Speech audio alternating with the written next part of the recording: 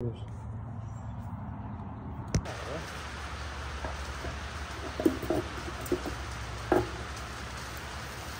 got the new gears on.